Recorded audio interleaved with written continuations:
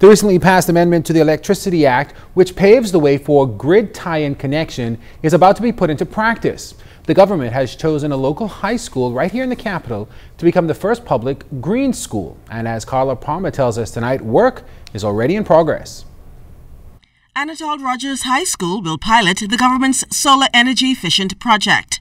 Making the announcement directly to the group it will impact was Environment Minister the Honorable Kenred Dorsett. Anatol Rodgers has been selected because it is a magnet uh, school for pre-engineering and what we want to do is have the children of Anatol become more aware of the new renewable energy technologies, to look at a career path for them as they come out of high school to get more training, um, to really ensure that we Bahamianize uh, the renewable energy uh, sector as best as possible. Minister Dorsett is fueled by hopes of a successful outcome and the benefits to be derived from a fossil free fueled environment.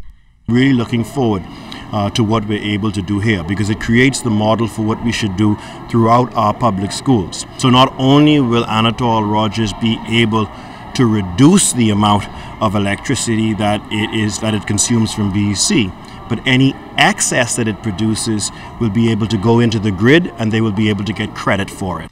The project is being made possible by Carbon War Room, a non-profit organization that assists small island nations in lessening its carbon footprint. We are a part of the 10 Island Challenge along with other Caribbean countries, all of whom have made a commitment uh, to remove, to reduce our reliance on fossil fuels and incorporate more renewable energy technologies in our energy matrix. According to Minister Dorsett, a technical team from Carbon War Room has already assessed the school for testing and fitting.